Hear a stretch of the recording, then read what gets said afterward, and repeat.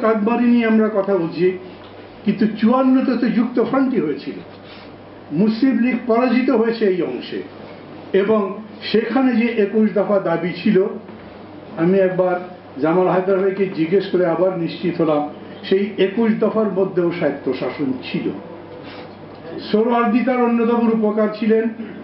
তিনি যখন যুক্ত ফ্রন্টে নির্বাচন করছেন, তখন স্বায়ত্ত শাসন চান। ক্ষমতায় যাবার পরে তিনি বলছেন নাইনটি এইট পার্সেন্ট স্বায়ত্ত শাসন তো হয়েই আছে।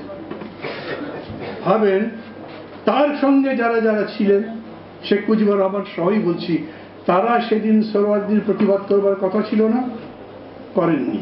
সেই সময় শেখ মুজিবুর রহমান নিজেও স্বাস্থ্য শাসনের কথা বলেননি।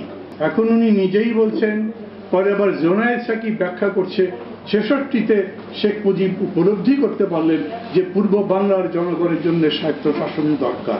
এই স্টেটমেন্ট বা এই কথা কতখানি যুক্তিসিদ্ধ? একটা লোক চুয়ান্নতে বোঝে, সাতান্নতে ভুলে যায়। সেই লোক আবার ছেষট্টিতে বোঝে। এত বোঝা পড়ার উল্টা পাল্টা উক্তি পড়তি কেন? আর এরকম কি পারা যায়? আজকে আমি বললাম এটা সাদা আর দুই দিন পরে এসে বলছি, না, এটা কালো। এবং এটা কালোর পক্ষে দাঁড়িয়ে আমি আবার সুনামও করে ফেললাম। আমি যে মানুষ স্বায়ত্ত শাসন চাইনি, বিরোধিতা করেছি, তিনি স্বায়ত্ত শাসনের চ্যাম্পিয়ন হলেন এবং শেষ পর্যন্ত সারা দেশের আন্দোলনের নেতৃত্ব দিলেন। আমার মনে হয়, আমার ব্যাখ্যা করে বলবার দরকার নেই, আমি কি বলতে চাচ্ছি আপনাদের কাছে? চুয়ান্নতে, সাতান্নতে, পুরা পঞ্চাশের দশকে মৌলানা ভাসানী যদি একক নেতা থাকেন, ষাটের দশকে যদি তারই নেতৃত্বে সমস্ত আন্দোলন পরিচালিত হয়, তাহলে স্বাধীনতা যুদ্ধে আওয়ামী লীগ নেতৃত্ব দিল কীভাবে? সারা দেশে বামপন্থীদের প্রভাব ছাত্র ইউনিয়নের একক সংগঠন ভেঙে গেছে, তারপরেও এই দুটোই বড় দল। ছাত্র সংগঠনের মধ্যে ছাত্র ইউনিয়নের চাইতে বড় কোনো সংগঠন নাই। তাহলে সেই আন্দোলনে তোফায়েল আহমেদের মতো এত বড় ব্যক্তিত্ব আসলো কীভাবে? আমি সবাইকে ভাবতে বলি, আমাদের রাজনীতিতে যতখানি আবেগ আছে, তার তুলনায় যুক্তি নাই। আমাদের রাজনীতিতে যতখানি লড়াই করবার আহ্বান আছে, ততখানি চিন্তা নাই।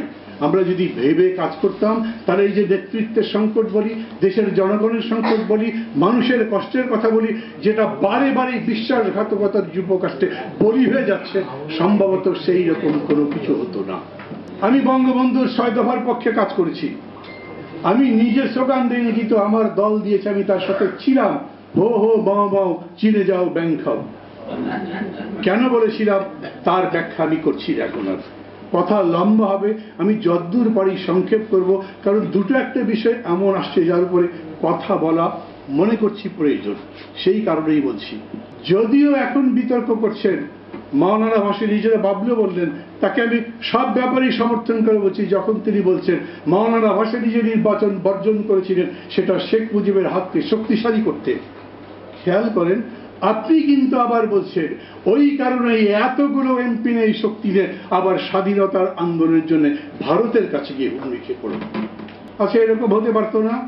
শেখ মুজিবের সঙ্গে মৌলানা ভাসির বসলেন বসে বললেন, তুমিও নির্বাচন করো, আমিও নির্বাচন করি। একই লক্ষ্যে, একই বক্তব্যে, একই আদর্শে বাংলার স্বাধীনতার জন্য অথবা স্বায়ত্ত শাসনের জন্য ম্যান্ডেট দেওয়ার জন্য জনগণের কাছে যাব। তারপরে একসাথে আমরা পাকিস্তানিদের বিরুদ্ধে লড়াই করব। একশো সাতষট্টিটা আসনের মধ্যে একশোটাই ধরলাম আওয়ামী লীগ, সাতষট্টিটা ন্যাব বা মৌলানা ভাসানির দল পেল। তারা দুইজন মিলে একসাথে লড়াইটা করতে পারতেন না? কেন? সমস্ত কিছু শেষ পর্যন্ত আওয়ামী লীগের পকেটেই দিতে হবে। জাতি, যদি উনি আলাদা করে প্রার্থী দিতেন, তারই দ্বিধা বিভক্ত হয়ে যাবে। এটাই যদি সত্যি হয়, তাহলে আজ কি রকম করে বলছেন, সমস্ত রাজনৈতিক দলগুলোর ঐক্য চাই, বিরোধী দলের জোট আলাদা হয়ে যাবার কারণে কি শক্তি দুর্বল হয়ে যাবে? বরঞ্চ ভালো করে বোঝেন। আমরা সেইভাবেই ঐক্যবদ্ধ হচ্ছি যাতে মূল লড়াইটা দুর্বল না হয়। মূল লড়াই আরও শক্তি পায় এবং সেই বিবেচনাতেই ঐক্যবদ্ধ হচ্ছি যাতে মূল লড়াইকে সংঘবদ্ধ করবার কাজে, এগিয়ে দেওয়ার কাজে, তার যথাযথ পরিণতিতে নিয়ে যাওয়ার জন্য আমরা সংগ্রাম করতে পারি। বিতর্ক থাকতেই পারে। যারা মৌলানা ভাসির অনুসারী তারা মনে করতেই পারেন এটা ঠিক করেছিলেন। আমি আমার কথা বললাম, তবে এই বিতর্কের এখন তো প্রাসঙ্গিকতা নাই। বিতর্ক করবার জন্য করছি না একটা কথা বলতে হয় সেই কারণে বললাম আপনাদের কাছে। সাথীরা, বন্ধুরা, আমি দুটো, তিনটা পয়েন্ট বলব। অসাধারণ ব্যাপার সেই সময় মৌলানা ভাসানী যেভাবে কাকবাড়ি সম্মেলনকে সংগঠিত করেছিলেন।